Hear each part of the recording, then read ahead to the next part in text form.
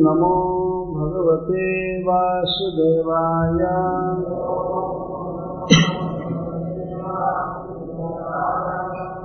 श्रीसुत उवाच। बलिरेवं गृहपतिः। कुलाचार्येण भाषितः तुष्णीं भूत्वा क्षणं राजन् उवाच वलितो गुरुम् श्रीबलिर्वाच सत्यं भगवता प्रोक्तम्। धर्मोऽयं गृहमेधिनाम्। अर्थं कामं यशो वृत्तिम् यो न बाधेत करिचित् स चाहं वित्तलोभेन। प्रत्याचक्षे कथं द्विजाम्। प्रतिश्रुत्य ददामीति प्रह्लादीक्षितो यथा। श्रीशुक उवाच शूल सुखदेव गोस्वामी ने कहा, बलि ही, बलि महाराज, एवं इस प्रकार गृहपति ही दैत्य कुल के नायक, कुलाचार्येण, कुल परंपरा से जो आचार्य हैं, इनके द्वारा शुक्राचार्य के द्वारा भाषित। एवं भाषित। इस प्रकार कहे जाने पर तुष्णीम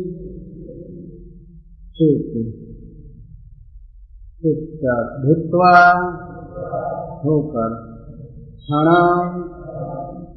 कुछ समय के लिए राजा हे महाराज, परीक्षित।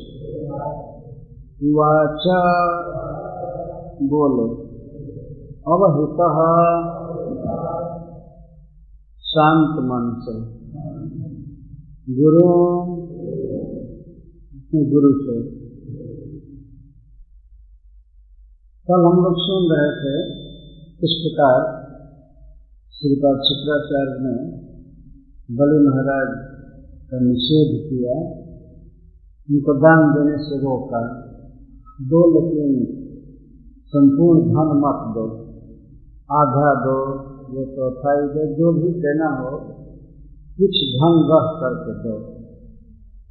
तीन पद में संपूर्ण भूमंडल नाप लेंगे भगवान, इसलिए पूरा नहीं दे। अपने वचन को लौटा लो। शिल सुखदेव गोस्वामी महाराज परीक्षित को संबोधित करते हुए कहते हैं कि हे महाराज, इस प्रकार बलि महाराज तो जब शुक्राचार्य ने कहा तो बलि महाराज कुछ देर के लिए कृष्ण हो गया चुप हो गया यह गुण है बलि महाराज, गुरु कह रहे हैं। तो गुरु की बातों पर वे विचार किए। ऐसा नहीं कि सुनते ही हाँ हाँ होने लगा, हम देंगे देंगे देंगे, आप कौन है रोकने वाले? ऐसा कुछ नहीं हुआ। कृष्ण बहुआ क्षण कृष्ण बहुआ कुछ क्षण के लिए, समय के लिए चुप हो गए, सोचने लगे। अवहित का अर्थ है विचार किए। विचार करके अपने गुरु से बोले। ये गुरु महाराज शुक्राचार्य उनको जीवन दान दिए थे। इंद्र के द्वारा वज्र से बलि का वध हो चुका था देवासुर संग्राम में, अमृत के बांटने के बाद। इनके मरे हुए शरीर को मृत संजीवनी विद्या से शुक्राचार्य जीवित किए। और जीवित ही नहीं किए, उन्हीं की कृपा से ये इतने बड़े बड़े यज्ञ किए स्वर्ग को जीते और यज्ञ कर रहे उनकी कीर्ति बढ़ी हुई और केवल इनके ही गुरु नहीं थे, समस्त दैत्य कुल के गुरु थे, कुलाचार्य थे, कुल के आचार्य। परंपरा से गुरु थे हितैषी थे? तो उनका एक अधिकार था कहने का, शिष्य पर ऐसा नहीं था कि वो कोई अनधिकार वार्ता कर रहे थे कि इतना दान मत दो। और बलि महाराज कुछ देर चुप होकर के सोचे और विचार करके दृढ़ मन से गुरु से बोले। बलि महाराज को यहाँ गृहपति कहा गया। ये गृह शब्द से तात्पर्य है, वो बहुत ही महान परंपरा से आए हुए घर के स्वामी थे एक प्रकार से समस्त दैत्यों के स्वामी थे और इस समय तो संपूर्ण विश्व के स्वामी थे एक प्रकार से इंद्र पद पर थे, विचार किए, कोई व्यक्ति, बड़ा व्यक्ति यदि कुछ कह रहा है, अपने मन के विपरीत बात भी तो एक बार विचार करना चाहिए। तो बलि महाराज ने विचार किया। विचार करके उन्होंने इस प्रकार कहा। सत्यम भगवता प्रोक्तम धर्मो यम गृह में धिना अर्थम कामम जसो वृत्ति यो न बाधित कर हे भगवान, गुरु महाराज को भगवान संबोधित कर। रहे भगवान, हे भगवान, आपके द्वारा जो कहा गया वो बिल्कुल सत्य है। किन पर क्या सत्य कहा? आपने गृहस्थों के धर्म का जो वर्णन किया, दान के विषय में, बिल्कुल सत्य कहा आपने। आपने उस धर्म का निरूपण किया, जो धर्म, जो शिक्षा अर्थ काम जस और वृद्धि को बाधित न करे।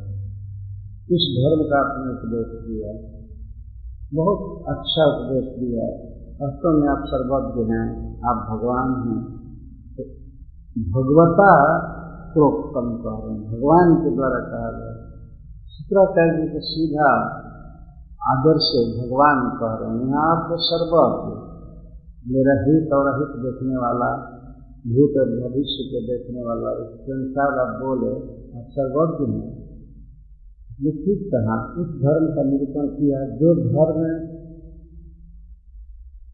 अर्थ को बचाए रखे, अर्थम और कामम इंद्रिय भोग के समानों की प्रत्येकता रहे, जस, दान देने की कीर्ति भी बनी रहे बार बार दान दे करके, और वृत्ति।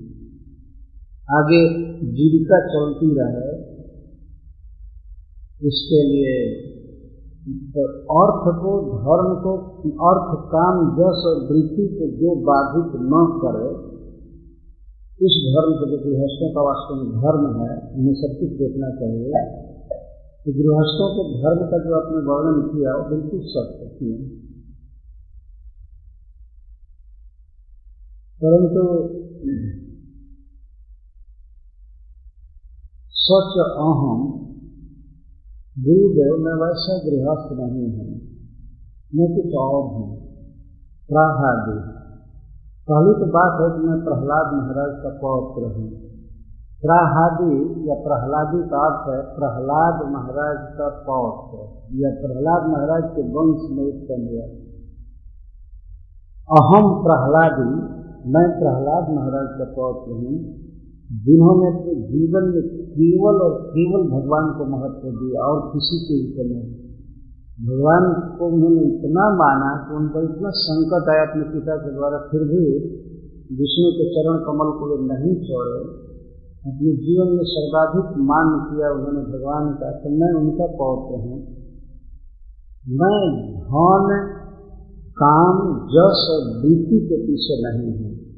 वृत्ति रहे या न रहे हमारे लिए खाने पीने की वस्तु रहे या न रहे, एक पैसा भी न रहे, लेकिन मैं अब बात नहीं बदल सकता हूँ। मैं प्रहलाद महाराज का पौध हूँ।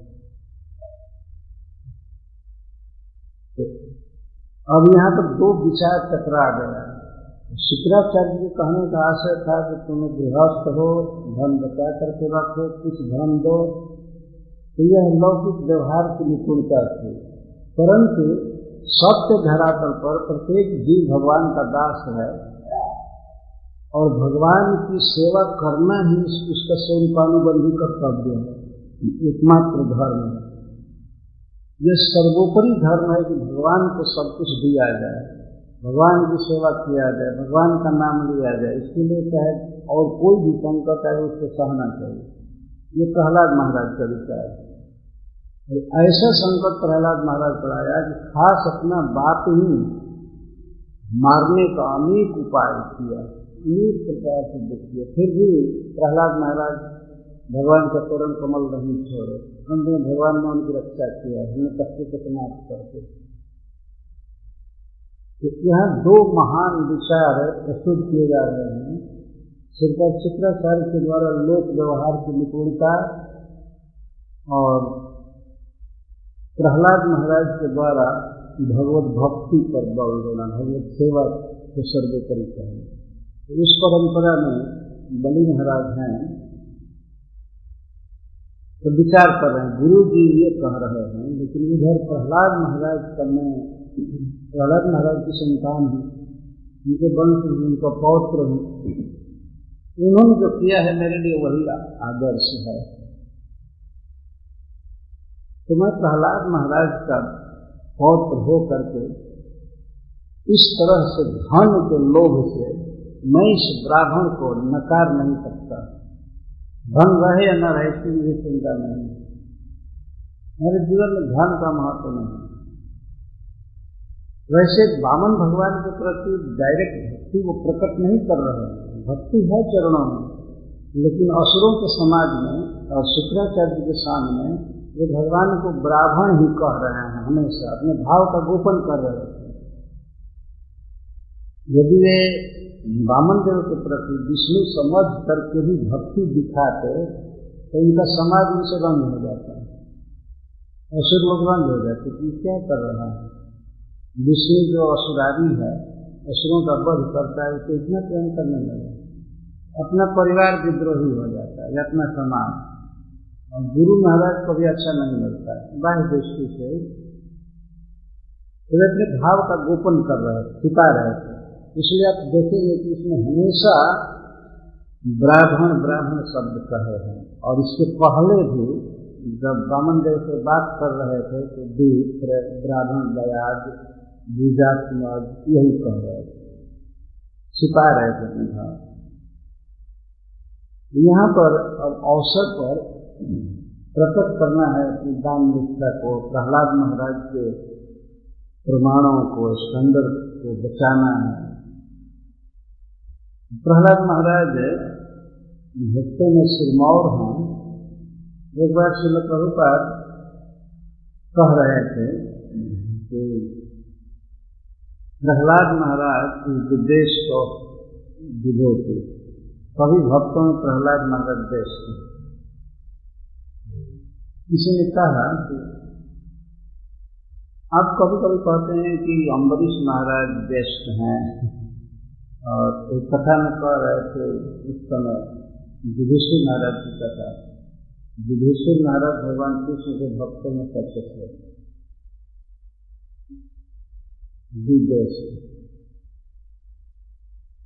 पूछा गया प्रश्न कि आप इनको बेस्ट कह रहे हैं? प्रहलाद महाराज के रहे हैं वास्तव में कौन बेस्ट युधिष्ठिर महाराज के विषय में प्रभुता विकास में ही is the best of the best Yudhishthira Maharaj.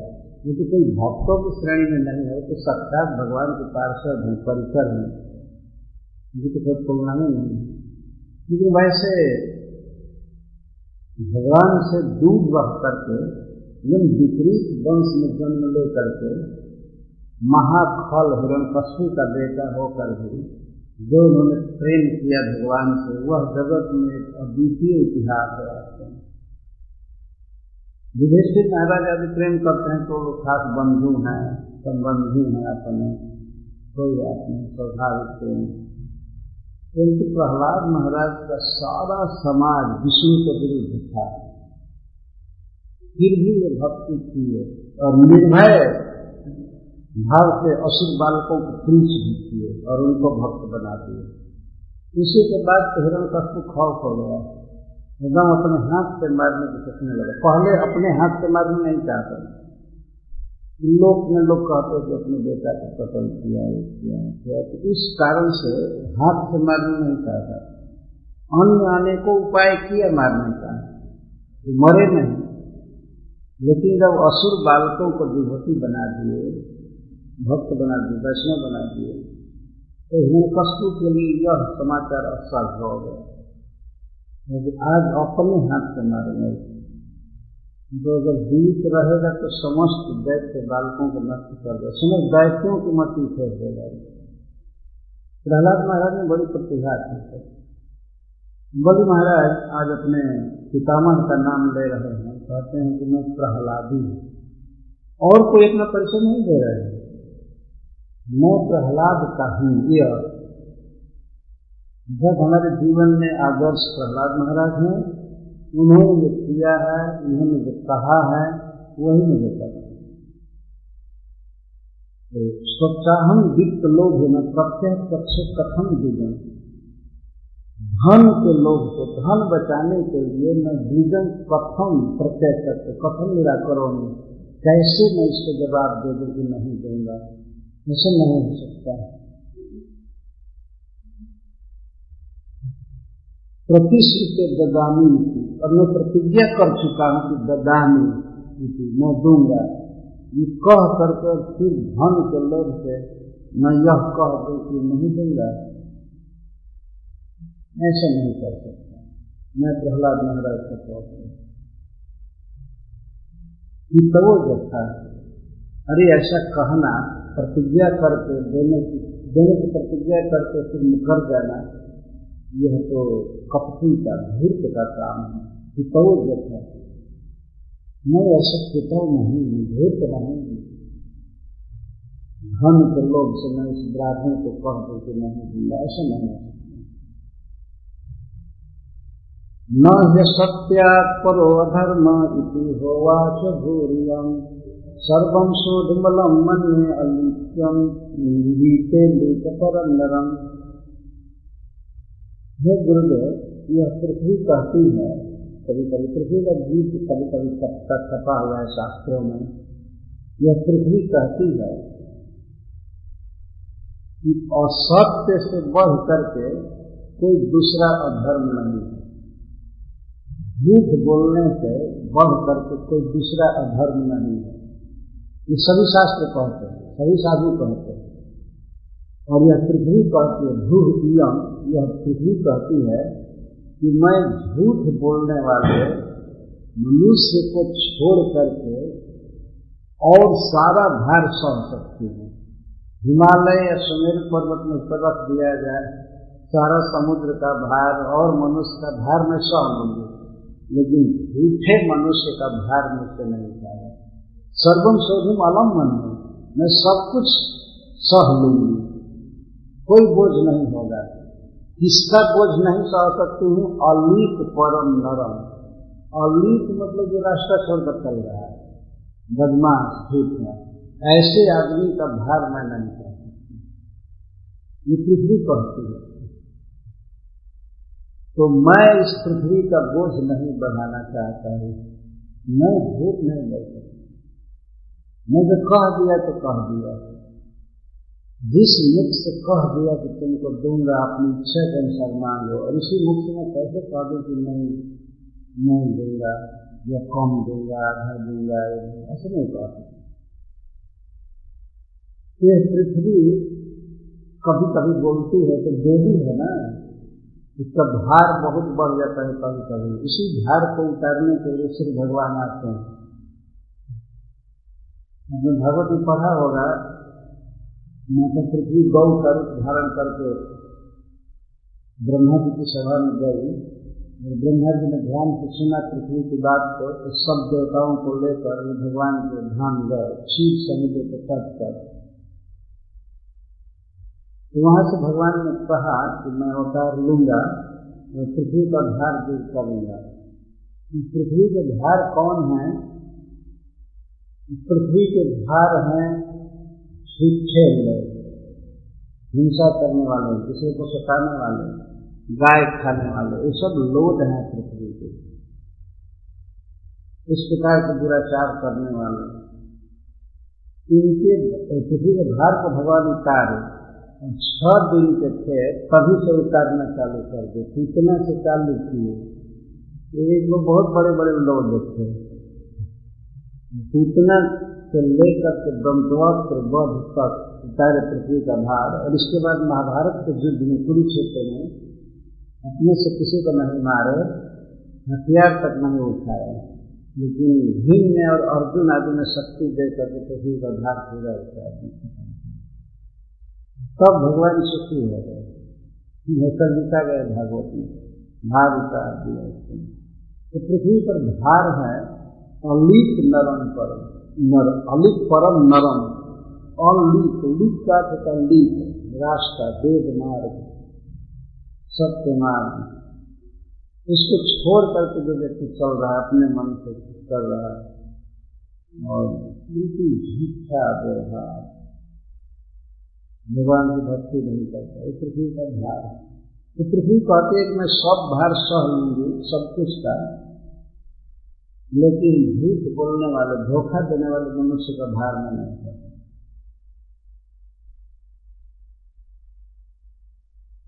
तो श्रीपद शुक्राचार्य ने कहा कि यदि जवाब नहीं दोगे, नहीं नकारोगे और दान दे दोगे तो इसमें तो बहुत दोष हैं जन जो मैंने कहा है। बहुत फजीहत होगी फिर बहुत जल्दी आ जाएगी और बहुत दुख भोगना पड़ेगा। यदि तुम नहीं कहते हो जवाब नहीं देते हो तो हाँ करने से और देने से तो बहुत फजीहत होगी बहुत दुख आएगा तो बलि महाराज कहते हैं, ठीक है, कोई भी दुख आ रहे मैं, किसी भी दुख से घबराता नहीं हूँ। ना हम दुधे मेरे जान, न धन्याद सुखार्णवा न स्थान, च न मृत्यु जथा विप्र प्रलंघना मैं मीरे से नहीं डरता मीरे मैंने नरक यदि मान लीजिए मैं इस ब्राह्मण को दान देता हूँ, और दान पूरा नहीं दे पाने के कारण यदि मुझे नरक में गिरना पड़े, तब भी मुझे नरक का कोई भय नहीं है। मैं नरक के पीड़ा को सह लूँगा। नरक का दुख सह लूँगा। और धन्य, अर्थात दरिद्रता का दुख मैं झेल लूँगा। यदि मुझे दुख के औरणों में समुद्र में डाल दिया जाए, तब भी मैं वहाँ उसको सह लूँगा। मेरा स्थान छीन लिया जाए, घर छीन लिया जाए, सब कुछ हमको निकाल दो। यहाँ तक कि मेरी मृत्यु भी हो, मुझे मारा जाए, फिर भी मैं उसे न बुझे मैं नहीं देता हूँ, जितना मैं इस ब्राह्मण को धोखा देने से डरता हूँ। ये किसी भी ब्राह्मण को ठगने से, धोखा देने से जैसा मैं डरता हूँ। वैसा और चीज़ से नहीं डरता। कोई बात नहीं, नरक से मैं नहीं डरता, दरिद्रता से नहीं डरता, दुख के समुद्र से नहीं डरता, स्थान से चीत होने से नहीं डरता, और यहाँ तक कि मृत्यु से भी नहीं डरता हूँ। मुझे कोई मारे डायरेक्ट तो मैं सह लूँगा, लेकिन वैष्णव साधु को या ब्राह्मण को वंचना से मैं बहुत डरता हूँ। तो आशा दे करके इस गरीब ब्राह्मण को, और मैं फिर कह दूँ कि नहीं दूँगा, ऐसा नहीं हो सकता। और दुनिया में कोई विपत्ति आवे, दुख आवे, मैं सह लूँगा, लेकिन किसी ब्राह्मण और वैष्णव को वंचित करना, कुछ आशा दे करके उसे नहीं देना, ठग लेना, ये इसको मैं नहीं सह सकता। इस भारी भय है बलि महाराज और कुछ भी दिखावे भय नहीं है, पर भय है विप्र प्रलम्बना प्रलम्ब है, का यहाँ अर्थ है वंचन।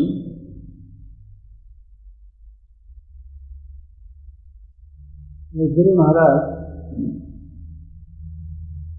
आप कहते हैं तो गुरु जी ने कहा कि ठीक है तो सारा धन चला जाएगा, इतना तो वक्त हो मन सब कुछ संसार में तुम्हारा चला जाएगा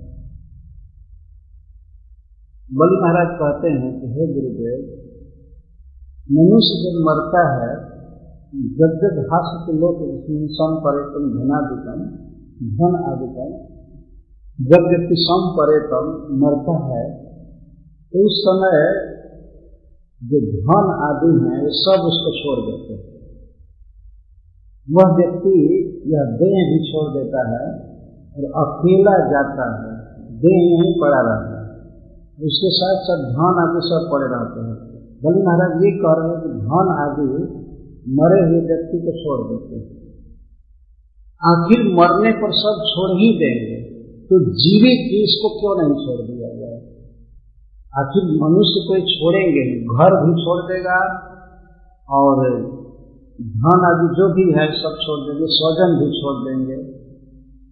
ऐसा कहा गया है कि कोई व्यक्ति जब शरीर छोड़ता है, कौन कहाँ तक जा सकता है? कहाँ तक कोई जाता है उसके ऐसा कहा गया है कि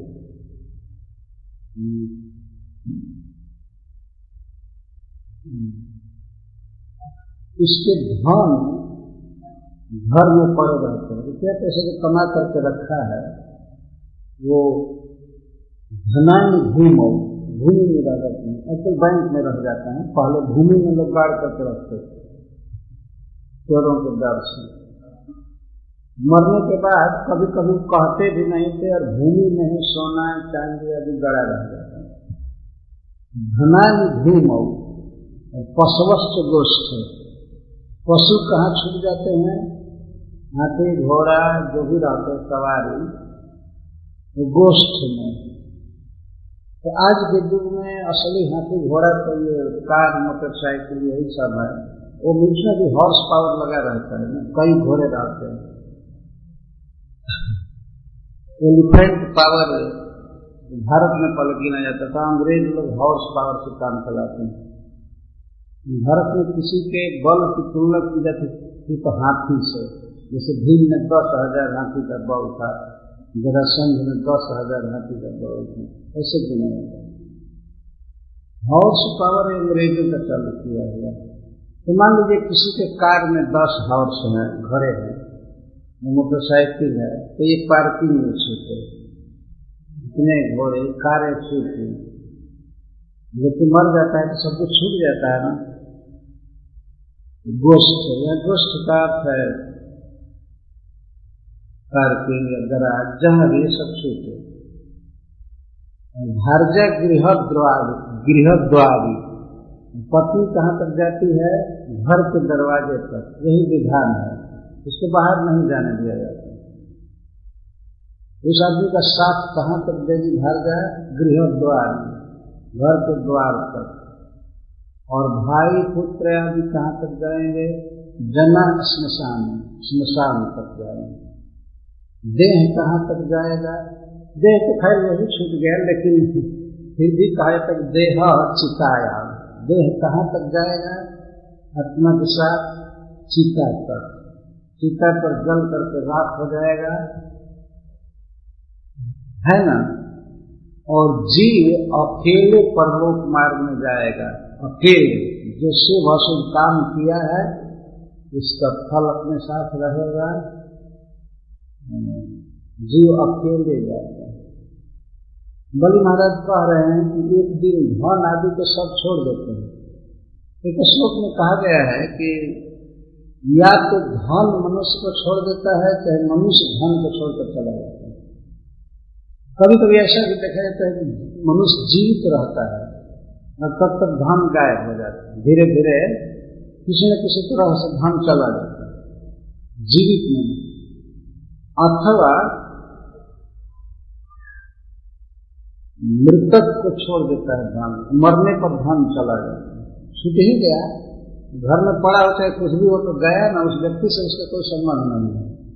करोड़ रुपया हो किसी को, और कोई सोचे कि हमारे पिताजी परलोक चले गए तो उनके यहाँ कुछ दस बीस हज़ार ध्यान क्या उपाय है? कोई एड्रेस है, कोई फ़ोन नंबर है, कहाँ गए? कुछ पता है? कुछ भी पता नहीं यहाँ होता है मनुष्य समाज में तो कहाँ गए। ऐसे कहने के लिए कहते हैं कि वो स्वर्गवास हो गया उनका इस स्वर्ग में चले गए। पता नहीं कि नरक में गए हैं कि स्वर्ग में गए हैं। कुछ भी पता नहीं रहता, लेकिन सद्भावना में, साधु भाव में इस शब्द का प्रयोग करते हैं कि स्वर्ग गए वैकुंठ गए। वो तो उनका कर्म बताएगा कि वे कहाँ गए कर्म से पता लगता है। पर बेटा को यही लिखना चाहिए कि स्वर्ग स्वर्ग राशि हो गए, दिवंगत हो गए। लेकिन वास्तव में किसी को कोई पता नहीं होता कि कहाँ गए फिर वहाँ पैसा भेजने की बात तो दूर है। ये सब कुछ छूटा ना या तो जीवित अवस्था में धन को छोड़ देता है आदमी, अथवा मर करके छोड़ता है। तो चाहे धन उसको छोड़ेगा, चाहे वो धन को छोड़ेगा, दोनों में एक अवश्यम भावी है। ये नहीं हम धन आदि छूटना है। कोई लेकर के नहीं जा सकता। जब जब धास के लोग सम पर्यटन धनाधिकम जब जब जो भी मनुष्य के पास धन आदि है, धन है, घर है, स्वजन है, सुख सुविधा है ये सब छोड़ देते हैं उस व्यक्ति को जो सम परे जो मर चुका है। मृत्यु सर्व हरस चाहम। भगवान गीता में कहते हैं कि मैं सब कुछ छीन लेने वाला मृत्यु हूँ। मृत्यु होने पर सब कुछ छीन लिया जाता है। सब कुछ देह भी छीन लिया जाता है। और फिर देह से संबंधित घर, द्वार, ऑफ़िस, कार, मोटरसाइकिल सिद्धि सर्वहर च अहम मृत्यु सर्वहरस सब कुछ सुन लिया जाता है। कष्ट त्यागे निमित्तम के विपरीत पुष्टि में पहुँचे तो बलि महाराज कहते हैं कि जब धन आदि हमको छोड़ ही देंगे, एक दिन तो जीवता एवं किन नब्बे भाव। तो जीवित अवस्था में ये आखिर ऐसे ही छोड़ देंगे तो जीवित अवस्था में किसी को दे दिया जाए तो कितना अच्छा है। दान करेंगे या नहीं करेंगे, वो तो छूट ही जाएगा। तो बेटर है ना कि जब जी रहे हैं, उसी समय उसको दे दो अच्छे काम में। अभी तो छूटेगा ही। लेकर के जाते तो भाई मान लिया जाता ठीक है, मत दीजिए, आगे काम आएगा। जब यही सब छूटना है तो बेहतर है कि उसको उचित काम में दे दिया जाए। यही बुद्धिमान है। देने वाले की कीर्ति रहती है वास्तव में। आज तक दुनिया में बड़े बड़े भोगी हुए, जैसे रावण या हिरण कष्ट तो उनकी कीर्ति भोगों के विषय में नष्ट है। कोई कीर्ति नहीं, लेकिन जिन्होंने दान किया है, धन का दान किया, शरीर का दान किया कई प्रकार का दान किया। उनका नाम आज भी अजर अमर है। जैसे बधीची ऋषि हड्डी दान दे दिए देवताओं के हित के लिए। आज भी सभाओं में उनकी कीर्ति गाई जाती सुखदेव गोस्वामी गंगा जी के तट पर जा रहे हैं कीर्ति। बलि महाराज नाम ले रहे हैं यहाँ पर। नाम आ रहा है, बधीची ऋषि का श्री महाराज का। जो समागत कबूतर की रक्षा के लिए बाज को अपना शरीर काट करके दे रहे ऐसे ऐसे लोग हुए जब भाष के लोग इसमें संपर्यटन धनाधिक जो भी मनुष्य अर्जन करता है संसार में धन आदि, मरने पर मनुष्य को सब छोड़ कर चले जाते सब कुछ छूट जाता तो जीवित है, क्यों न दान कर दिया गया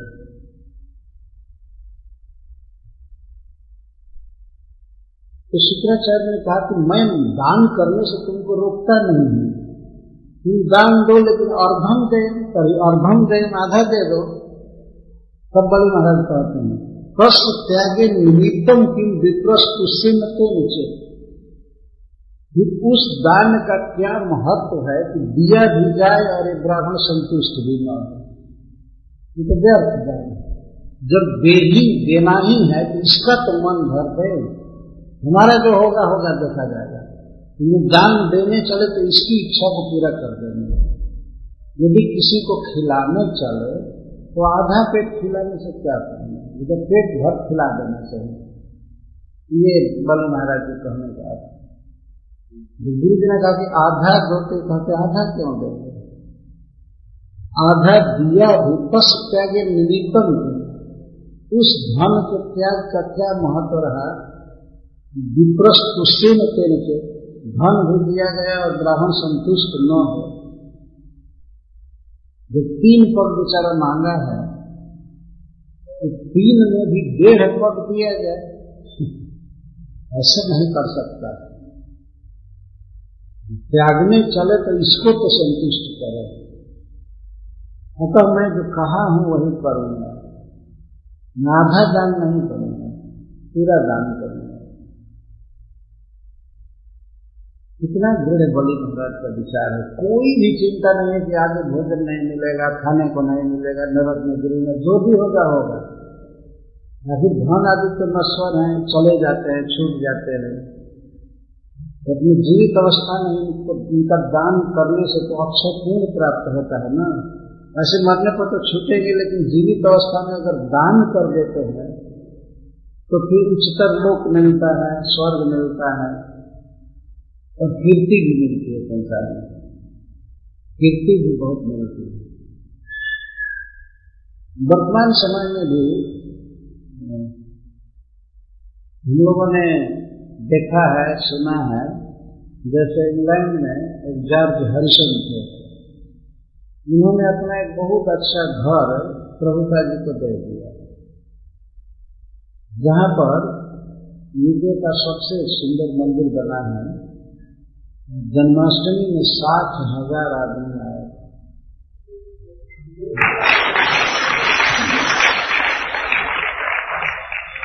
बीस हज़ार कार जीती पंद्रह से बीस। साठ हज़ार आदमी जन्माष्टमी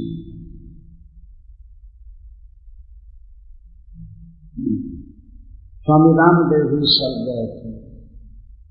ये भी इस बात को कह रहे कि वो भक्ति विधान मेहनत के नाम से प्रसिद्ध है, कई एकड़ ज़मीन है उसमें, और भवन है। तो जाके हरिशन तो चले गए, लेकिन आज उनकी कीर्ति अगर है। जो जाता है, स्मरण करता है, धन्यवाद देता है, आशीर्वाद की वर्षा करते हैं। ऐसे सबको तो घर छोड़कर के जाना ही है। और धन भी छोड़ करके जाना है। लेकिन जो लोग अच्छे कार्य में भगवत सेवा में लगा देते हैं तो उनकी कीर्ति रहती है। कीर्ति कभी नष्ट नहीं होती लेकिन महाराज ने कहा ये कहते हैं कि आधे धन दे, दान देकर के क्या होगा?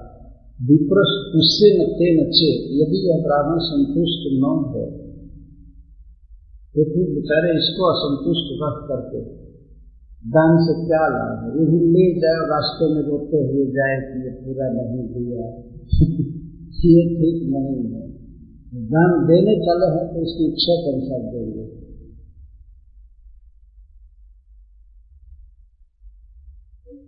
बार बार कहते हैं, ठीक है तो दो तो आधा दो तो नहीं।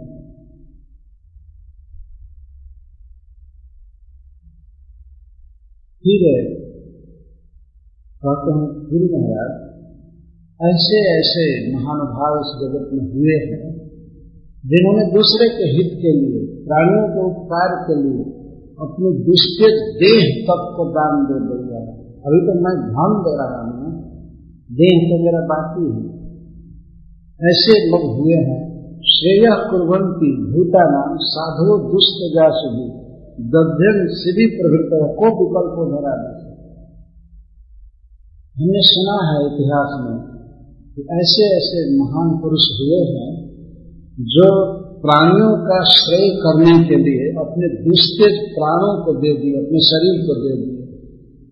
जैसे श्री महाराज और दधुची मुनि। भली महाराज इनका नाम जस गा रहे हैं। दधीची मुनि की कथा छठे स्कंद दसवें अध्याय में है देवता लोग उनसे हड्डी मांगने आए दे दी और श्री महाराज अपने शरीर का मांस काट करके दे दिए तराजू पर अपने को ही रख दिए पूरा शरीर तो जब एक प्राणियों के हित के लिए जनता के हित के लिए उन्हें अपना शरीर देने में भी हिचक नहीं है। दुष्टे प्राण, दुष्टे शरीर। तो फिर धन दान करने के विषय में क्या विकल्प है? क्या विचार करना है? इसका अर्थ यह है कि यदि यह ब्राह्मण मुझसे मेरा शरीर मांगे, मेरा मस्तक मांगे तो मैं अभी दे दूँगा। धन देने में कौन हिचक है? क्या सोचना है? को विकल्प धरा दूसरे धरा पृथ्वी दान करने में क्या विकल्प, क्या विचार करना है? दो, न दो, आधा दो, ये दो, इसे विषय में क्या सोचना श्री महाराज और दधीची मुनि जब अपने शरीर को देने में नहीं हिचके, न प्रियतम शरीर दे दिए तो फिर धान पृथ्वी आदि देने में क्या सोचना क्या आनाकानी करना कितना महान विचार है। और गुरु जी की प्रत्येक बात का बहुत ही सुंदर उत्तर दे रहे हैं।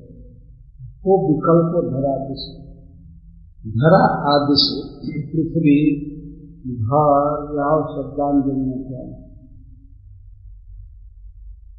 अब उदाहरण दे रहे हैं कि गुरु महाराज जिन असुरों के द्वारा जिन दैत्यों के द्वारा यह पृथ्वी भेजी गई, भूतकाल में जैसे हिरण्य कशपु हिरण्याक्ष और भी बड़े बड़े असुर जो इस पृथ्वी को भोग पूरे जगत के राजा जय रियम बुझे ब्रह्मन। जिन लोगों के द्वारा पृथ्वी भोगी गई, जो राजा थे, दैत्य रहे अनुवर्त हुए। कभी भी युद्ध में पीठ न दिखाए, पीठ न दिखा करके जिन्होंने पृथ्वी का शासन किया बड़ी बड़ी लड़ाइयाँ की, युद्ध किया, पीठ नहीं दिखाए, ऐसे बड़े बड़े योद्धा इस पृथ्वी को भोगे, राजा बने, लेकिन उनके शरीर को और उनके द्वारा भोगे हुए लोक को, धन को काल ग्रस्त कर गया, ग्रस्त कर गया, खा गया काल। लेकिन उन्होंने जो कीर्ति कमाई उस कीर्ति को काल नष्ट नहीं कर सके, नहीं ग्रस्त कर सके। ऐसे बलि महाराज बोलने में बहुत प्रवीण है। गुरु महाराज को उदाहरण दे रहे हैं और और भी लोग सुन रहे हैं ना, इसलिए दैत्यों का ही उदाहरण दिए दैत्य यशस्वी हुए और दूसरे लोगों का नाम नहीं ले रहे क्योंकि उनको बात पसंद नहीं पड़ेगी। जो अपने समाज में प्रोत्साहित करने वाला है, उदाहरण दिया जाता है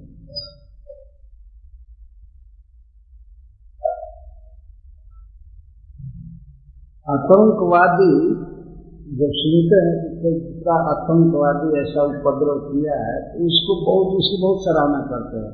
बहुत अच्छा किया।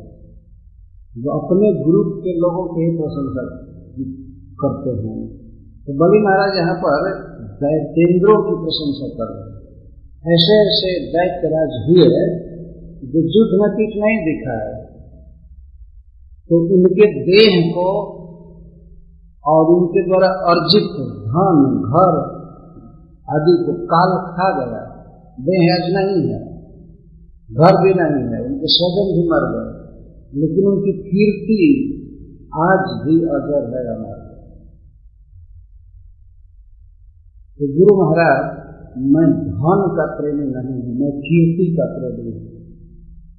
मैं कीर्ति कमाना चाहता हूँ।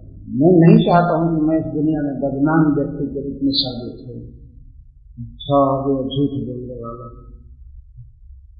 तो उदाहरण दे रहे हैं दैतेंद्रों का, दैत्य राजाओं का। हे ब्राह्मण हे ब्राह्मण, हे गुरुदेव, जिन्हें महायोद्धा दिग्विजयी दैतेंद्रों के द्वारा पृथ्वी जीती गई, भोगी गई तेषान कालो ग्रसित लोका, इनके लोक को, अर्जित लोक को, लोगों को, देह को, धन को सबको कालग्रस्त कर गया। लेकिन न जस विगतन हुई। तो इस पृथ्वी पर उन्होंने जो जस प्राप्त किया, जो बड़ा बड़ा काम किया और उसके कारण जो उनको जस प्राप्त हुआ, उस प्राप्त जस को आज तक काल नहीं खा सका है, न भविष्य में खाएगा। आगे भी लोग उनकी कीर्ति गाएँगे, इस समय भी गा रहे हैं। जुग तक उनकी कीर्ति गाएगी, गाई जाएगी। तो इस प्रकार मैं धन का प्रेमी नहीं हूँ, मैं जस का प्रेमी हूँ। मैं जस चाहता हूँ। मतलब मैं तो दूँगा नहीं। मैं इस ब्राह्मण को वंचित नहीं कर सकता इसे झूठ नहीं कर सकता सुलभादिविप्र से जब निवृत्ता स्तनुत्यज न तथा तीर्थया आया तो श्रद्धया ये धनत्यज हे गुरुदेव काम त्याग से भी धन त्याग का ज़्यादा महत्व है। बल महाराज कहते हैं, ऐसे बहुत से लोग मिलेंगे भविष्य भूतकाल में भी ऐसे बहुत से लोग मिलेंगे हैं हुए हैं और आज भी हैं और भविष्य में भी ऐसे लोग होंगे। युद्ध का अवसर आने पर हो सकता है शरीर त्याग दे, मर जाए। शत्रु का बाण या राइफल सौगंध हो सकता है मर जाए। देह त्याग कर सकते हैं, लेकिन योग्य पात्र के आने पर धन त्याग करने वाले सुलभ नहीं। धन त्यागना प्राण त्याग से भी कठिन है संसार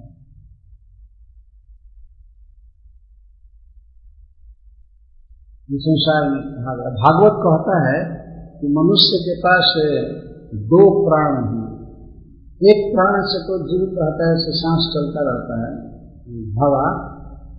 एक प्राण एक, ये है, इसको अंत प्राण कहते हैं। हवा के आने जाने से शरीर जीवित रहता है। और वही प्राण उसके पाकिट में रहता है। या डायलेक्ट कहते हैं वही प्राण मतलब पैसा। यदि मान लीजिए केवल अंत प्राण है, सांस ले रहा है तो कहीं भी व्यक्ति न घूम सकता है, न कुछ खा सकता है, कुछ नहीं कर सकता। वही प्राण उसको जीने में बहुत मदद करते हैं। ऐसा रुपया पैसा उसके पास रहता है, इसको बाहरी प्राण कहा गया क्यों प्राण कहा गया भागवत में? क्योंकि प्राण जितना प्रिय है, सांस लेना जितना प्रिय है, उतना ही प्रिय पैसा है। बल्कि पैसा उससे बढ़कर प्रिय है यहाँ बलि महाराज ये कह रहे हैं। सुलभा विधि विप्र से निवृत्ता स्तमित हे विप्र से हे ब्राह्मणों में श्रेष्ठ, युद्ध में अनिवृत्ता युद्ध में पीठ न दिखा करके शरीर त्यागने वाले तमित्यज सुलभा शरीर त्याग देने वाले लोग सुलभ हैं। सब जगह सुलभ है। लेकिन न तथा तीर्थ आया थे श्रद्धया ये धनक त्याग लेकिन तीर्थ के आने पर, तीर्थ मतलब योग्य पात्र किसी वैष्णव के आने पर ब्राह्मण के आने पर उसके लिए धन त्यागने वाले लोग इस दुनिया में बिगड़े ये सुलभ नहीं है। वैष्णव के आने पर धन त्याग देना चाहिए। देखिए, वर्तमान में हम लोग जिस सभा में बैठे हैं यह मंदिर का कक्ष है इसका निर्माण हो रहा है। इसके लिए तो धन त्याग देना चाहिए। कीर्ति भी रहेगी, बनाने वाले की कीर्ति रहेगी, दान देने वाले की कीर्ति रहेगी। बलि महाराज के वाक्य के अनुसार हमें सीखना चाहिए। वो कहते शरीर त्यागने वाले सुलभ हैं, लेकिन धन त्यागने वाले तीर्थ के आने पर न तीर्थ का अर्थ है योग्य पात्र, ब्राह्मण और वैष्णव। ये दोनों भगवान का प्रचार करते हैं, भगवान की सेवा करते हैं तो तीर्थ के आने पर धन का त्याग करने वाले सुलभ नहीं, न तथा सुलभ भाई की अर्थ है वैसे सुलभ नहीं है। चमड़ी जाए तो जाए, दमड़ी न जाए।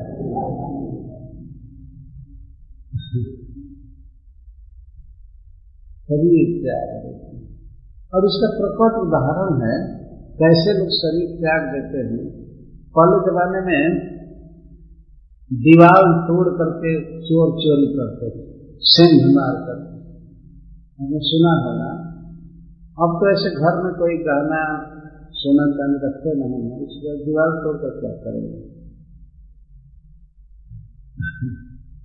कुछ फर्नीचर और टीवी मिलेगा, और तो कुछ मिलेगा नहीं। पहले लोग दीवार तोड़ते थे। तो दीवार जब तोड़ते थे तो दीवार तोड़ करके पहले चेक करते थे, घर में कोई जगह तो नहीं है। मान ली कोई जगह है तो मार मार देगा तो शरीर पर कोई पड़ जाएगा। तो सिर नहीं घुसाते थे। पैर पहले डालते थे कि अगर कटेगा भी गड़ासा आदि से तो पैर कटेगा। अगर एक पैर कटा तो किसी तरह से लगड़ते हुए भाग जाऊँगा। जीवित तो बचेंगे। ये चोरों का एक सिद्धांत था तो उनकी कार्यान्वय, उनकी कार्यावली थी इस तरह जब सिंह पूरा हो जाता था तो पहले पैर को डालते। कदाचित कोई जगह होगा, काटेगा तो पैर को मारेगा। अभी वो धन दूसरे के पास है, अपना नहीं है, जब दूसरे के धन के लिए भी आदमी अपने पनु त्याज शरीर को त्यागने के लिए तैयार है। फिर वो धन अपना हो जाए तो उसके लिए क्यों नहीं शरीर त्याग देगा? धन को बचाए रखेगा और शरीर त्याग देगा। इसलिए बलि महाराज कहते हैं कि योग्य पात्र के आने पर धन का त्याग त्याग करने वाले सुलभ नहीं युद्ध में शरीर का त्याग करने वाले वीर योद्धा तो बहुत है। आज भी जो मिलिट्री में है, वो तो शरीर त्यागने के लिए इच्छुक है ना? लड़ने के सुलभ है सब जगह। लेकिन योग्य पात्र के आने पर धन का त्याग करने वाले लोग दुर्लभ नहीं धन त्याग से अधिक कीर्ति होती है। इसीलिए बलि महाराज कहते हैं कि मैं धन त्याग करने वाला हूँ। अगर ज़रूरी आ जाए तो धन भी त्याग देह भी त्याग सकता हूँ, लेकिन धन त्यागना ज़्यादा कीर्ति होगी, इसलिए मैं ज़्यादा कीर्ति लेना चाहता हूँ। ये बाह्य रूप से बोल रहे हैं लेकिन भीतर तो भगवान के प्रति प्रेम प्रदीप्त है तो सब कुछ देना चाहते हैं। जिनका सब कुछ है, पूरा भूमि, जल, वायु, अग्नि, आकाश, सब तो भगवान का बनाया हुआ है। कोई लेकर के आया था, न बनाया है। तो भगवान को देने के लिए तैयार है। तो भी ये वस्तु गोविंद को देने वसना लेकिन बाहर बाहर असुरों में सुना रहे हैं कि मैं धन त्याग करके अधिक कीर्ति चाहता हूँ। धन बचा करके बदनामी नहीं चाहता। गुरु महाराज ने कहा कि ठीक है, जब तुम सर्वस्व दान दे दोगे तो तुम्हारे जीवन में जीवन में दयन में आएगा, दीनता आ जाएगी लचारी गरीबी। बात कोई बात नहीं। मनस्विना कारुणिक शोभन जदर्थ कामोपनयन दुर्गति। यदि किसी अर्थी के, जिसको ज़रूरत है, बेचारा दुखी है, गरीब है अगर उसकी कामना की पूर्ति की, की जाए कोई व्यक्ति दान देकर के उसको सुखी करे और उसको सुखी करने में वो स्वयं गरीब हो जाए दुर्गति भोगे तो उस दुर्गति के कारण भी संसार में उसकी कीर्ति बढ़ती है। सब लोग अच्छा अच्छा दान देकर के गरीब हो जाए उसकी कीर्ति बढ़ती है किसी भी व्यक्ति का। यदि कोई दीन है, दुखी है इसकी सहायता की जाए और सहायता करने वाला व्यक्ति यदि कदाचित गरीब हो जाता है, फिर भी उस मनस्वी की कारुणिक की शोभा बढ़ती है, सब जगह शोभा बढ़ती है, सुंदरता बढ़ती है उसकी।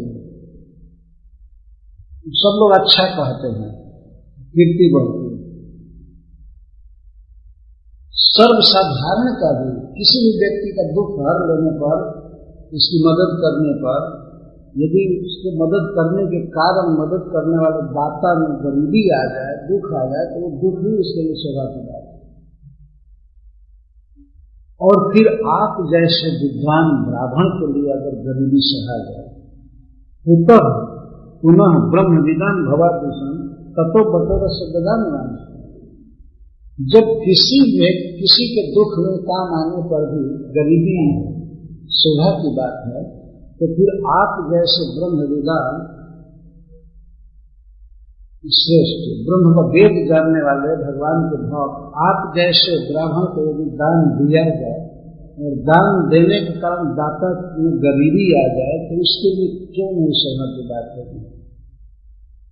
किसी को भी दान दिया जाए तो शोभा की बात है। फिर आपका आप जैसे विद्वान को दिया जाए तो और दस बढ़ेगा। संसार में देखा जाता है, कई लोग गरीब जैसे मान लीजिए राजा हरिश्चंद्र ने दान दिया। तो दान देने के बाद वो गरीब हो गए। स्मशान में, घाट में वे मुर्दा जलाने वालों से टैक्स लिया करते थे रात में। लेकिन उस समय भी वो इतना ही सुशोभित थे क्योंकि कीर्ति गाई जाती गरीब हो जाने से कोई कीर्ति कम नहीं हो गई वो और बढ़ी थी दो बात यहाँ ये कह रहा है बड़ी महाराज कि किसी भी व्यक्ति की दुख को दूर करने पर, उसको धन देने पर यदि गरीबी आ जाए तो गरीबी ही उस मनस्वी के लिए, उस करुणाशील व्यक्ति के लिए शोभा की बात है। और फिर आप जैसे महान पुरुष को यदि धन दे करके कोई गरीब होता है तब तो उसकी गरीबी ही उसके लिए शोभा है। अतः मैं इस बचू को, इस ब्राह्मण को, ब्रह्मचारी को इसकी इच्छा के अनुसार मैं दान दूँगा। ततो बटोर से गदा निवांशिका फिर गुरु महाराज ने कहा, तुम बार बार कह रहे हो कि मैं बटू को दान दूँगा, ब्राह्मण को दान दूँगा। ये ब्राह्मण है, तुमको पता नहीं है कि साक्षात विष्णु है। तो बड़ी महाराज कहते तब तो अतिशय दूँगा, और दूँगा। अगर ये विष्णु है, तब तो और दूँगा। वैसे थोड़ा संदेह भी हो सकता था, लेकिन अगर ये विष्णु है, तब तो देना ही है। जजन्ति यज्ञ क्रतुभिर्जमाद्रिका भवन्तयाम्नाय विधान कोविदः। स एव विष्णुर्वरदोऽस्तु वा परो दास्याममुष्मे क्षितिनिक्षिता मुने हे मुने यहाँ शुक्राचार्य मुनि करें आप जरा विचार कीजिए, मनन कीजिए इन बड़े बड़े यज्ञों में किसकी आराधना होती है? अभी मेरा जो यज्ञ चल रहा है, सौना सुमेध यज्ञ इसमें भगवान विष्णु की ही पूजा होती है हो रही है ना अश्वमेध यज्ञ के द्वारा भगवान विष्णु ही आराध्य है। तो आप जैसे विद्वान, भवंत आमनाय विधान को वेदों के विधान को जानने वाले यज्ञ विधान को जानने वाले, विविध यज्ञों के द्वारा जिनकी आराधना करना चाहते हैं, जिनको प्रसन्न करना चाहते हैं वही प्रभु डायरेक्ट मुझसे मांगने के लिए आए हैं और मैं उनको न दूँ। मैं कैसे बोल रहे हैं? आप लोग भी तो इन्हीं की आराधना करते हैं ना। भवंत आमनाय विधान को आमनाय मतलब शास्त्र। शास्त्र के विधान को आप लोग जानते हैं और आप सभी प्रसन्न करना चाहते हैं। किसको? विष्णु को। कैसे? यह गच्छ यह इदम ओम विष्णवे नम। स्वाहा करते हैं, भगवान को प्रसन्न करना चाहते हैं। भगवान सामने आते नहीं हैं, और वही भगवान यहाँ सामने आए हैं तो इनको न दिया जाए। जिन जिनकी यज्ञों में भावना करके आराधना की जाती है, जल्दी प्रकट नहीं होते हैं, वही प्रभु सामने प्रकट है। स एस विष्णु वही वो भगवान विष्णु यज्ञ पति यज्ञ पुरुष यहाँ पर उपस्थित हैं। तो ये हमको वर दें, हमको पुरस्कार दें, हमको माने अथवा हमको दंड दें। कुछ भी करें, पर इनको इनकी इच्छा के अनुसार मैं भूमि का दान करूँगा। क्षति वीक्षिता में दीक्षा के अनुसार में भूमि दान करेंगे। जितना लेना लेंगे तीन पद नहीं कर रहे तो तीन पद में तीनों लोग लेना चाहें, कुछ भी करना चाहें, और सब कुछ अपनी इच्छा के अनुसार करें नहीं उनको देंगे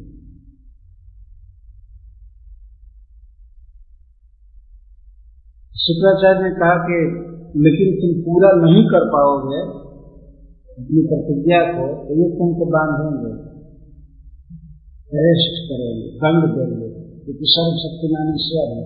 तुम क्यों झूठ बोले तब बलि महाराज कहते हैं, जगत के सब धर्म रमान व नियत अनागसी, मैंने कोई अपराध नहीं किया है। मैं तीन पद देने के लिए कहा है, मैं तीन पद पूरा करूँगा। मैंने कोई अपराध नहीं किया, लेकिन मेरे अपराध होने पर भी ये जो मुझे बांधेंगे,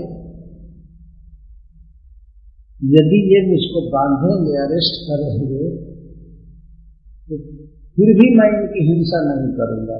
मैं नहीं मारूँगा। मैं तुमको पूजा किया है। ये हमको मारे मैं इनको नहीं मारूँगा। क्योंकि हम उनसे भयभीत होकर के ही तो विष्णु ब्राह्मण का शरीर धारण करके आए। ब्राह्मण के रूप में आए, इसीलिए मैं कि बात बलि मारेगा नहीं तो मैं तो इनको नहीं मारूँगा भले हमको मारे। मैं कभी इनका हाथ तक नहीं उठाऊँगा। शस्त्र से मारना तो दूर की बात ये भले हमको मारे लेकिन मैं इनको नहीं सुनूँगा मेरे भय से ब्राह्मण बन करके आए। पता नहीं इस प्रेम वाक्य का क्या अर्थ होगा। ये भले मारे हमें इनको नहीं मारेंगे एक प्रकार का अध्ययन कर रहे हैं। जो हमसे डरते हैं, तभी तो ब्राह्मण बन करके आए हैं ना। ये ब्राह्मण बन करके आए हैं, तब मैं इनको नहीं छूँगा अथवा ऐसा वागोत्तम श्लोको न जिहासति जब जस हत्वा मैनम हरत युद्ध चैतन्य निकल यह हो सकता है कि ये उत्तम श्लोक, जिनका जस बड़े बड़े देवताओं के द्वारा गाया जाता है, जिनका अपराकृत जस है, जिनमें महान बल है, हो सकता है कि ये इतना जस न छोड़े, अर्थात हमको दंड दें, क्योंकि मैं गलती किया मैं प्रतिश्रुति को पूरा नहीं कर पाऊँगा, या मान लीजिए मैं दान नहीं देता हूँ तो ये तो अपना जश नहीं छोड़ेंगे, मुझको दंड देंगे ही, मारेंगे।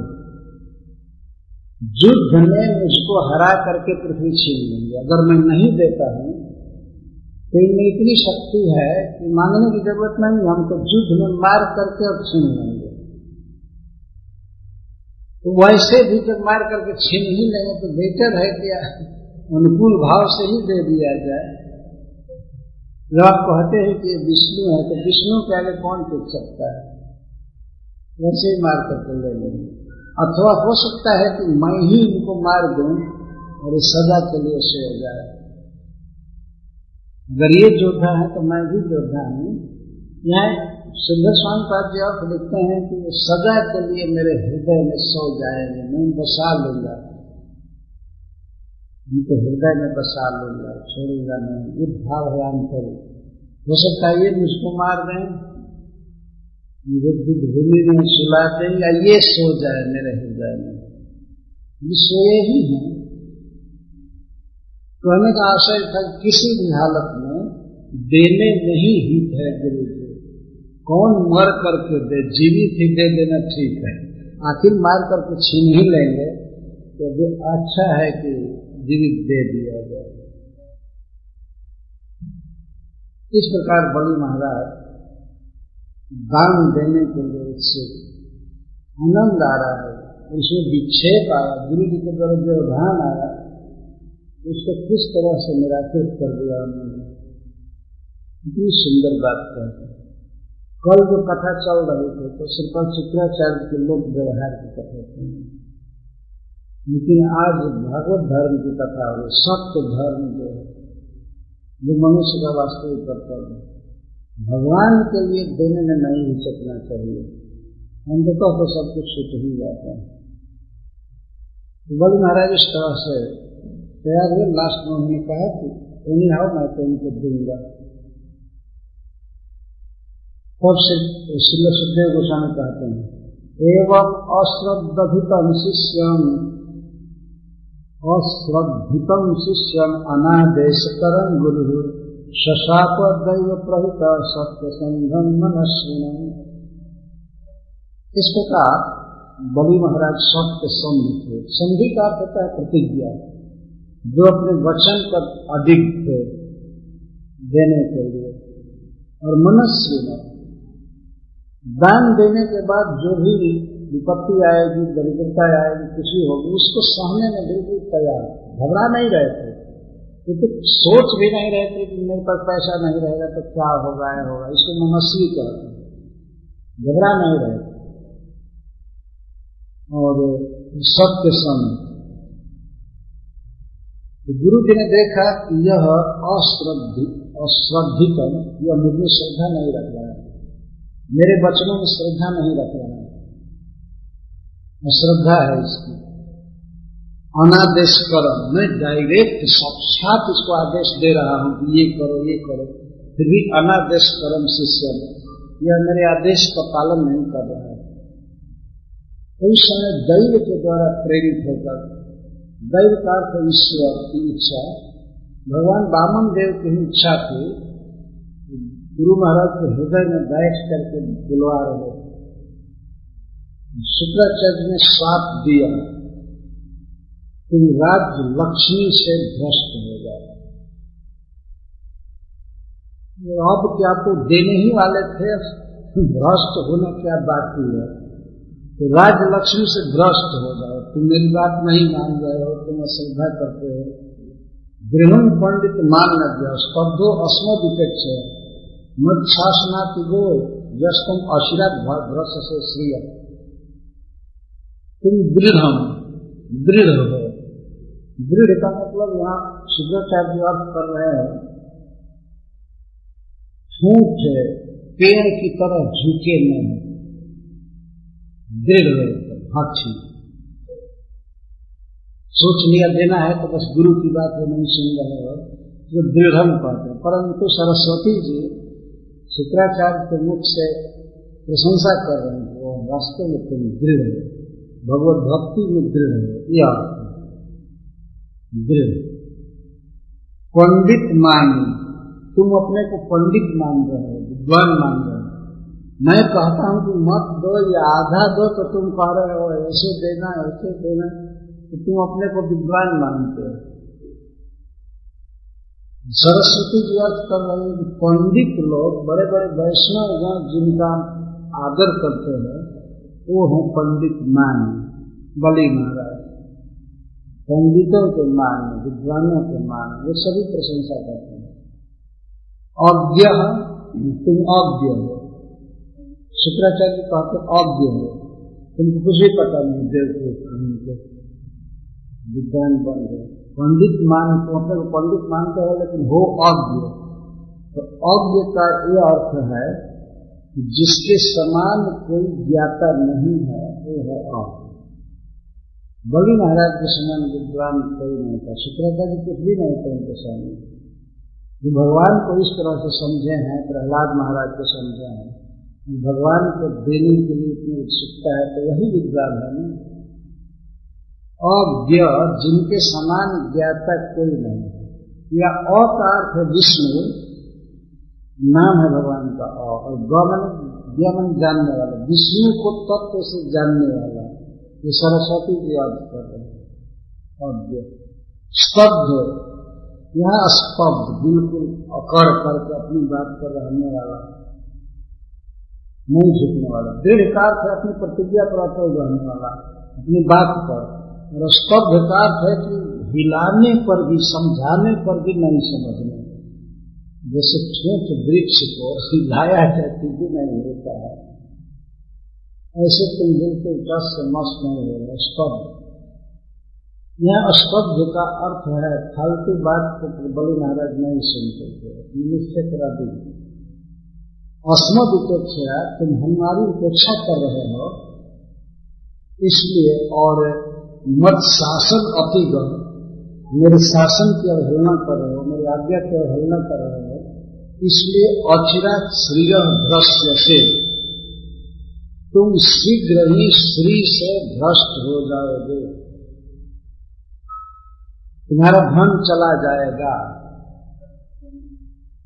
किसके पास जाएगा श्री तो श्री पति के पास चले जाएगी। श्री से भ्रष्ट हो जाओगे। यह भी अच्छा है भगवान एक बार कहते हैं दस्या मनोग्रहणा में हरिषेक का धन समय तो बलि महाराज का धन लिए उन पर भगवान की कृपा नहीं है। शुक्राचार्य के मुख से भगवान ही बोल रहे हैं वास्तव में। दैव प्रहित का विश्वनाथ चक्रवर्ती ठाकुर जी देव का अर्थ होता है श्री भगवान विष्णु और दैव का अर्थ है विष्णु की इच्छा। दैव प्रेरित विष्णु की इच्छा से प्रेरित। सर्वस्व हम हृदय सन्निष्ठ भगवान सबके हृदय में बलि महाराज की कीर्ति को बढ़ाने के लिए शुक्राचार्य के हृदय में बैठ करके ये बातें बोलवा रहे हैं। तो अंत में सात भी दिलवा रहे हैं भगवान बलि महाराज की कीर्ति बढ़ाने के लिए। शायद सात देने पर मान लीजिए अगर दूसरा व्यक्ति होता तो तुरंत पैर पर गिर जाता गुरु जी साफ़ मत दीजिए, ठीक है, आप जो कहते हैं वही करूँगा, आधा ही दूँगा, साफ़ मत दीजिए। नहीं साफ़ दो चाहे कुछ भी करो। बलि महाराज तो इतना दृढ़ थे कि देने ही आ जो साथ देने के लिए उनको गाली दे रहे थे। बलि महाराज को शुक्राचार्य कि तुम ये हो ये हो ये हो। फिर भी बलि महाराज नहीं घबराए।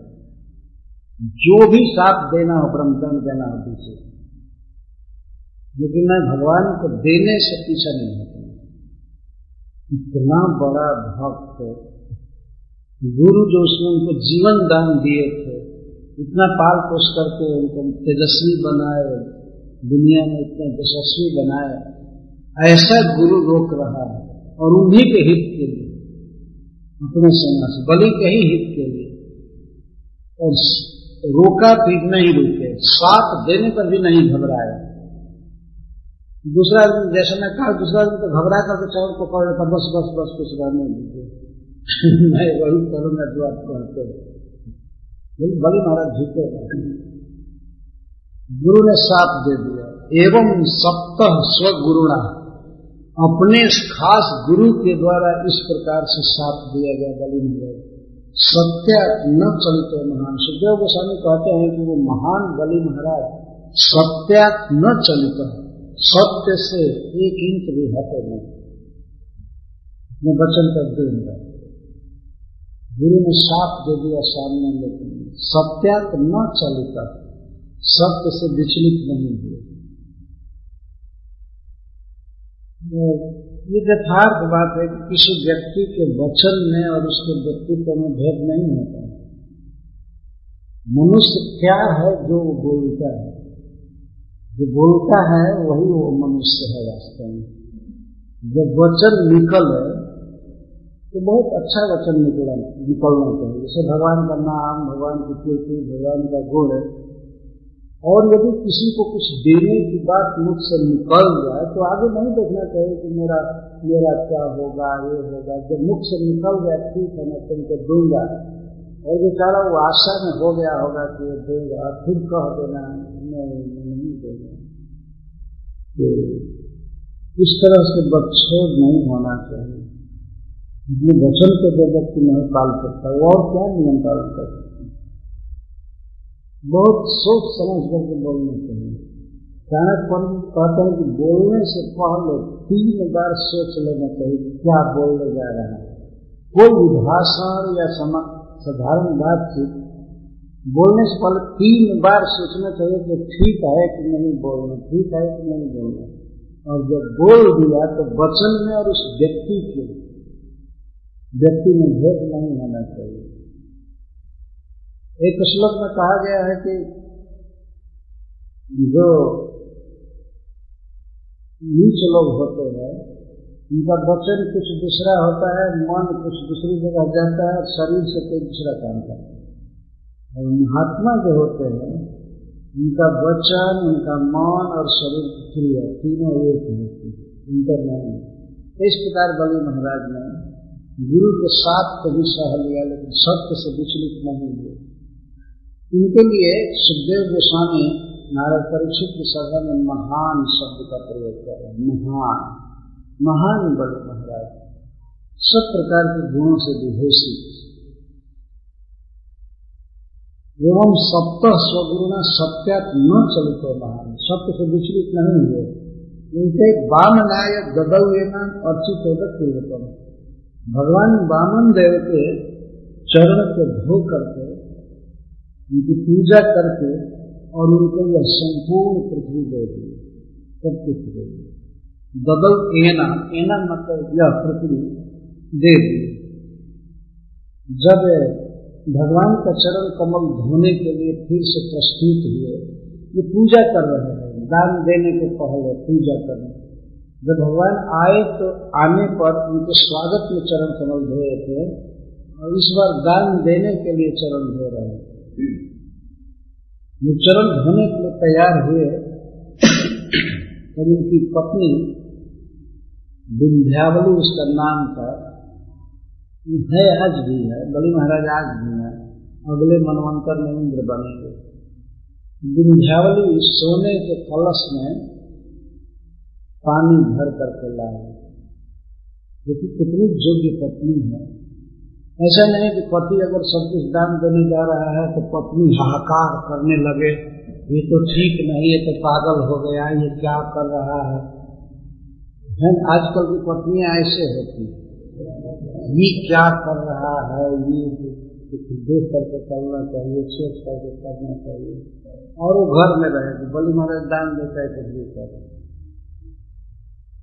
कितनी सहयोगिता है, सहकारिता है पत्नी की, जो देखी कि हमारे पति जो दान करना चाहते हैं भगवान को तो वो सोने के कलश में पानी लेकर के आ रहे हैं।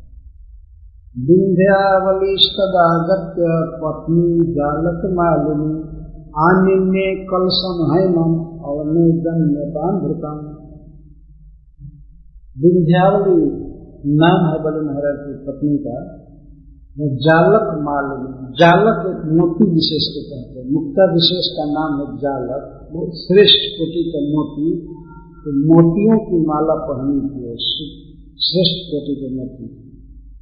तो वह हैमम कलशम अपामृतम इस सोने के कलश में चरण धोने के लिए जल लेकर के आए।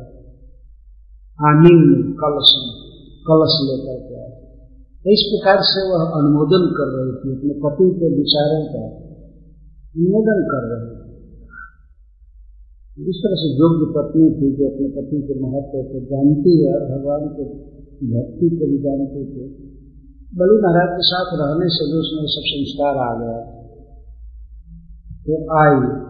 जजमान स्वयं तस्य श्रीमत्पाद जुगम मुदा अवनिज्या बहन मुर्मि पदतो विश्व पावन पावन पावनी पावनी दुर्गीता जजमान जजमान श्री बलि महाराज एक तो यज्ञ चल रहा था सौवा समय यज्ञ था। इसमें भगवान को देना था। किसी भी ब्राह्मण को दान दिया जाता है यज्ञ के अंत में या दर्शनों को तो यज्ञ सफल होता है। इस यज्ञ में साक्षात परमेश्वर भगवान आए, साक्षात आए।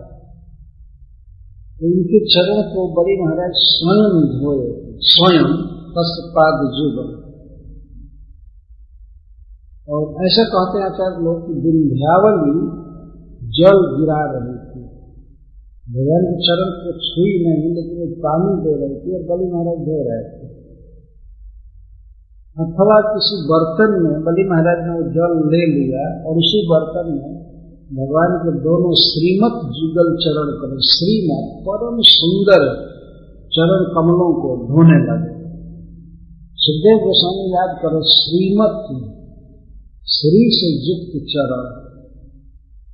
बस श्रीमत पाद युगम मुदा आनंद के साथ बलि महाराज धोने लगे। अवनिज्य और चरण कमल धो करके कुछ देर तक मूर्धनी आबहत सिर पर धारण किए, सिर पर डाले अपने केशों पर। तब अपह विश्व पावन। इस विश्व पावन जल को जो सारे जगत को पवित्र करने में समर्थ है। भगवान के चरणों को चरणों को धोया हुआ वो जल विश्व के समस्त प्राणियों को पवित्र कर सकता है सबका पाप का नष्ट कर सकता है। अथवा करता है, गंगा जी भगवान के चरणों का भवन है और सारे विश्व को पवित्र करती है। ऐसा कहा गया है कि ब्रह्मा जी जी के द्वारा जब ब्रह्मा जी छोड़ी गई, जब गंगा जी छोड़ी गई ब्रह्मा जी के द्वारा, भगीरथ की तपस्या से तो गंगा जी की धारा तीन तरफ़ बहन, तीन भाग में हुई। बाद में चल गई। पहले तो आकाश में, स्वर्ग में सब जगह सींचती हुई आई, स्वर्गीय लोगों थे। और इसके बाद इस पृथ्वी पर गंगा के रूप में और भोगवती के रूप में पाताल लोक बन जाते सारे पाताल लोकों में गंगा जी, जल, सब जगह पवित्र थी तो तीनों जगत में जितने भी स्थान थे, लोग थे, सबको गंगा जी ने पवित्र किया भगवान के चरणों का जब प्रक्षालन किया जाता है, मंदिरों में भी जब आरती करते हैं तो उसमें भगवान के चरणों में पानी दिया जाता है भावना द्वारा। और उसके पहले भी इस जल को संख में ले करके और छिड़कते हैं। इसके बारे में कहा गया है कि अकाल मृत्यु हरणम जरा व्याधि विनाशनम विष्णु पादोदकम पुनर्जन्म भगवान का वह चरणों चरणांग अकाल मृत्यु हरण। अकाल मृत्यु का हरण कर लेता है। आयु पूरा होने के बाद ही शरीर जाएगा, पहले नहीं जा सकता। केवल उसको पीने से। ऐसे किसी भी दवा में ये शक्ति नहीं है। जो चरणान्वित में और इस बात को हम लोगों ने जीवन में करके देखा है। तो जो ऐसे रोगी मिले हैं, जो जीवन से निराश हो गए, सभी डॉक्टरों ने जवाब दे दिया। अभी अभी घटना है। न्यू जर्सी में एक राधा कृष्ण दास नाम के भक्त हैं, बंगाल के। उनके पिताजी बीमार थे। सभी डॉक्टरों ने कह दिया इनकी मैक्सिमम उम्र एक, महीने की है। वो बेचारे बहुत चिंतित हो गए और आए थे मंदिर में हमारी कथा में। बिल्कुल खिन्न थे सब क्या बात है तो अपने पिताजी की उम्र केवल अभी महीने है, कुछ घबरा रहा है, उनको ये हो गया है कैंसर हो गया है, ये हो गया मैं सिंपली यही कह दिया कि भगवान का चरणामी तुमको वेद खिलाएँगे ले जाइए मंदिर से क्योंकि भगवान का ही अंतिम आश्रय होता है, हरे को हरि नाम। भगवान का नाम सुनाइए और चरणामी तुमको दिया अभी वो है एक साल तीन महीना है और पहले से ठीक है। पहले की अपेक्षा ठीक है। इंडिया में ही है कलकत्ता में। उस समय न्यू में थे। जब वहाँ के डॉक्टर ने कह दिया कि एक महीने के अंदर, मैक्सिमम एक महीने के अंदर विश्व में जितने भी जीव है, कोई न कोई पाप ताप हुआ है, भूल होती है, लेकिन भगवान के चरणामृत से प्रेम करने से, गंगा जी से प्रेम करने से मनुष्य पवित्र हो जाता है, विश्व पावन। बलि महाराज, इस चरण जल को अपने मस्तक पर रखे। जिस समय बलि महाराज भगवान का चरण कमल धोए और समस्त जगत दे दिए भगवान को, उसमें देवता लोग आकाश में थे और ये बलि महाराज पर फूलों की वर्षा करने लगे, जय जयकार करते हुए। देवता लोग जो बलि महाराज के शत्रु हैं दैत्यों के लिए बुरी बुरी प्रशंसा करने लगे, फूल बरसाने लगे। बलि महाराज को ज़्यादा बरसा रहे थे बामन देव पर कौन? देवता लोग ये भी भूल गए कि कैसे बरसाना चाहिए। इतना प्रसन्न हुए बलि महाराज से तो उन्होंने दे दिया। तदा सुरेन्द्रम दिवि देवता गण गंधर्व विद्याधर सिद्ध चारण तत्कर्म सर्वे दृढ़ तयाजवम प्रसून वर्षैर्वृषोन्मृता उस समय आकाश में स्थित देवतागण गंधर्व विद्याधर, सिद्ध, चारण आदि, सब बलि महाराज के कर्म की प्रशंसा करने लगे। कहने लगे, जय हो जय हो, इस मनस्वी ने, इस महान पुरुष ने दुष्कर कर्म किया है। ऐसा कोई नहीं कर सकता है। सब लोग धन्यवाद देने लगे साधुवाद देने लगे। तत्कर्म सर्वे की गिणंत उनके कर्म को सभी लोग वर्णन करने लगे। आर्जवम उनकी सरलता को प्रसून वर्ष बद्र से उदानित आनंद के साथ फूलों की वर्षा करने लगे। स्पष्ट सुखदेव गोस्वामी कहते हैं कि असुरेंद्रम। असुर कुल शिरोमणि बलि महाराज पर फूलों की वर्षा करने लगे। क्या कहने लगे? एक श्लोक में वो नमूने दिए गए आधे श्लोक में मे दुर्मुहूर्तुंदुभय सहस्रश गंधर्वतीं पूर्वशतीं राजगुरु मनस्विनानेन कृतं सुदुष्करम् विद्वान अदाद्य कवे जगत बार बार गुंडुंडियाँ बजने वाले देवताओं की हज़ारों हज़ार गुंडुंडियाँ बज रही हैं। गंधर्व किमपुरुष किन्नर आदि देवता बलि महाराज की कीर्ति गाने लगे। कीर्ति का सार क्या था? बोले गा रहे थे इस मनस्वी ने इन महा, इस महान धैर्यशाली पुरुष ने दुष्कर कर्म किया है। ऐसा कोई इतिहास नहीं है मैं आगे आएगा। इस प्रकार से दान दिया है जगत। विद्वान अदात ऋग्वेद जगत जानते हुए भी कि भगवान विष्णु हैं और इंद्र के भाई बन करके आए हैं। इंद्र शत्रु हैं। बलि महाराज, कई बार युद्ध हो चुका है इसके पहले। जानते हुए भी रिपु को, शत्रु को पूरा संसार दे दिया पूरा जगत। जानते हुए इतने दुश्मन को राज्य दे देना इस तरह से त्याग कर देना। तो भगवान भी एक प्रकार से जब इनके दुश्मन के भाई बन करके आए हैं तो ये भी दुश्मन ही हुए।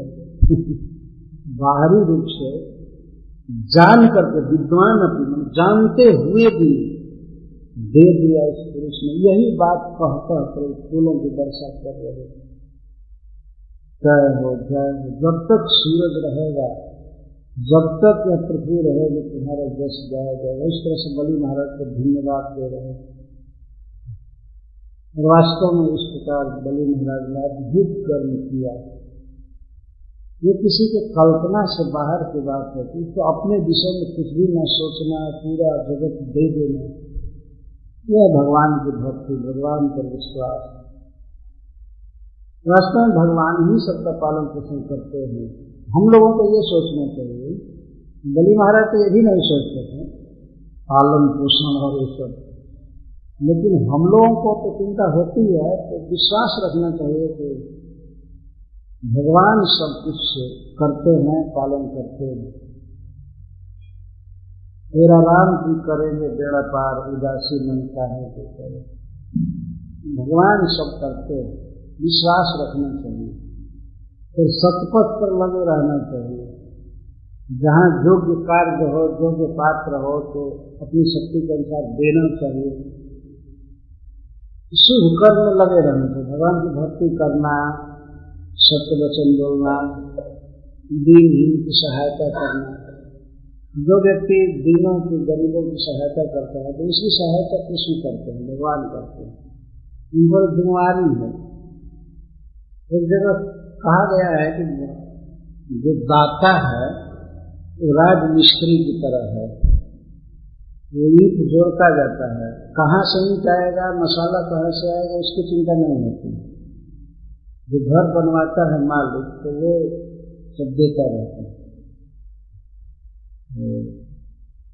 दाता जो है, वो राज मिस्त्री की तरह है और भगवान मजदूर की तरह है।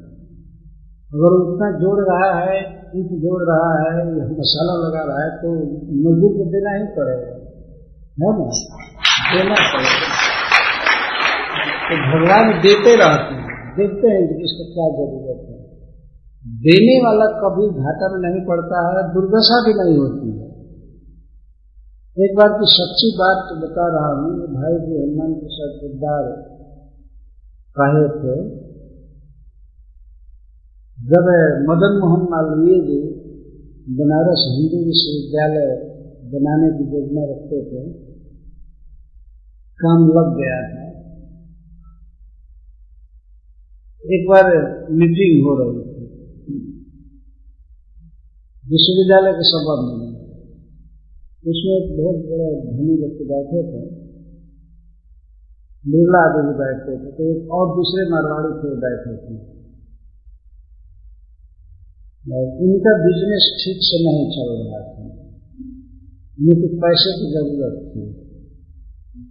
तो कोई उधार दे दे तो बिज़नेस करके, नफा करके फिर उसको देने वाला।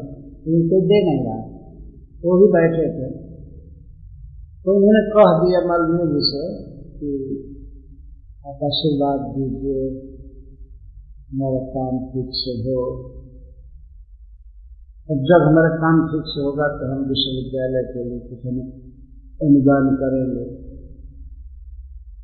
मालवीय जी ने कहा कि मेरा आशीर्वाद यही है कि आप अभी पाँच लाख रुपया दे दीजिए। पाँच लाख रुपया, इसलिए बहुत बड़ी राशि थी उस जमाने में। पाँच लाख रुपया दे दीजिए, ये तो बिल्कुल उनके मतलब कहते हैं ज़मीन सड़क जाना ही कल्पना से बाहर की बात है। लेकिन उनको विश्वास था कि इस ब्राह्मण की बात सत्य होगी उन्होंने कह दिया कि आप दीजिए तो उसके बाद आपको बहुत प्राप्त होगा। जैसे तैसे कर्ज करके जहाँ तहां से पाँच लाख रुपए पूरे कर दिए मालवीय को दे दिए। तो यह बात न्यूज़ पेपर में छपी। इस व्यक्ति ने पाँच लाख रुपया दिया यूनिवर्सिटी को।